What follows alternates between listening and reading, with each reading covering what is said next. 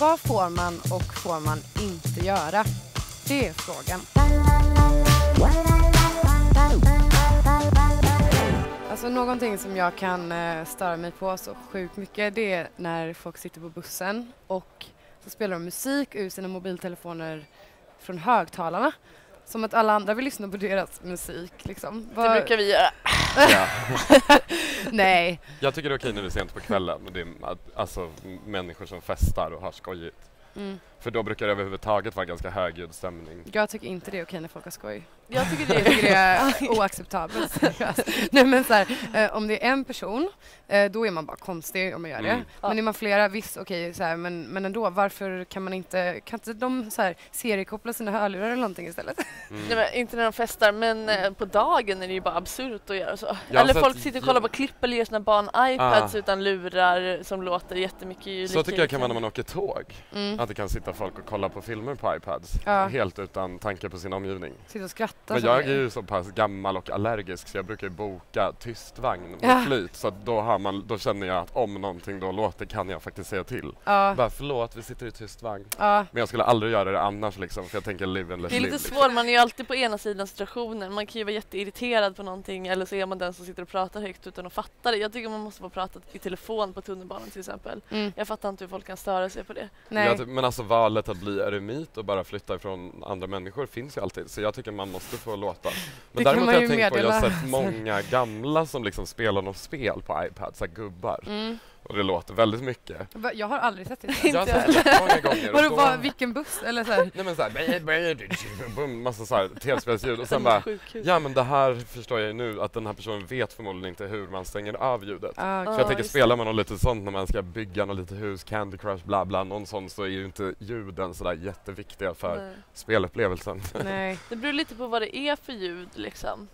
Till exempel ringsignal är ju fortfarande okej att ha till exempel. Mm. Men det kan också vara irriterande om någon har en sån här jättegräll som låter som en gammal telefon kan jag vara såhär, men Mm. vad håller du på med? Varför byt signal? Fast ringsignal är lite bisarrt att ha. Varför har man det? Alltså typ när man är ute med mobilen på sig, man känner ju om den ringer. För jag kan verkligen störa mig, jag stör mig på allt.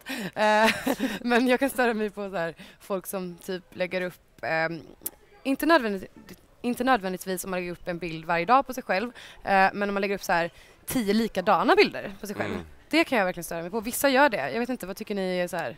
Jag Okej. tycker då är det ju privat, till exempel Instagram, du väljer om du vill följa någon. Då tycker jag att det är så pass privat att då får de väl avfölja den personen. De som tycker Ja, men tänk om det är en så. kompis då?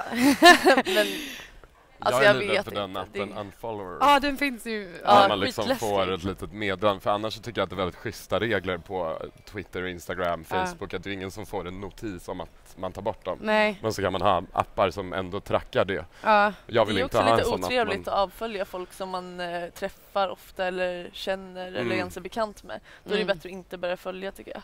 Ja, kanske. Men om det är Facebook-feeden då kan man i alla fall ta bort det. Eh, Ja, det är ju Så skönt. Det är ju helt privat. Men Men, många man- märker ju om man, många har ju den där Insta-follow och Mm. sitter och kollar det. Så Mm. att, mm. Men vad tycker ni om eh, man har framme Ja. telefonen eller kollar på telefonen medan man sitter och fikar eller någonting så kan det vara folk som bara men Alltså det är grovt Lägg ner. respektlöst att kolla och scrolla i telefonen när någon sitter och pratar om någonting. Jag tycker Ja. inte det. Jag försöker öva bort det beteendet hos mig själv för jag vet att det är någonting man, alla vi gör. Mm. Liksom. Men att det är så... Men beror inte det på vad personen Jag tycker pratar om inte också? det är det. För det beror ju på, ofta är jag tycker det är när vissa människor är så här Typ vem chattar med som att man sitter och har en annan konversation med en annan. Det är ju inte så i alla fall. Det kan ju vara att någon säger Fast något nu är det man googlar verkligen en sån eller... där du är på andra sidan situationen. Du kan ju vara så här, vad sa du nu? För att du har suttit så. Det måste du ju säga är en Det gör ju konsekvens du det. också. Alla gör ju Jo, jag det. vet, men att det är, så, det är där som jag tycker att det är respektlöst. Okej, det är liksom. min objektiva åsikt i frågan. fall. Nu scrollade jag medan du pratade. Märkte du det? men du blev inte ledsen?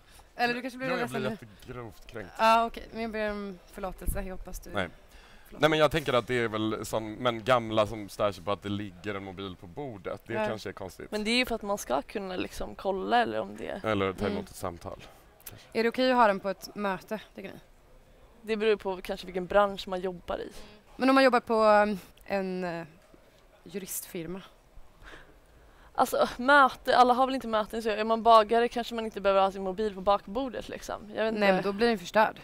Nej, men precis. Men jag menar om man inte är beroende av sin mobil eller att researcha saker eller Mm. kolla upp saker eller hålla kontakt så tycker jag nog inte. Jag tycker om, om man har barn får man i alla fall ha telefonen hela tiden tycker jag.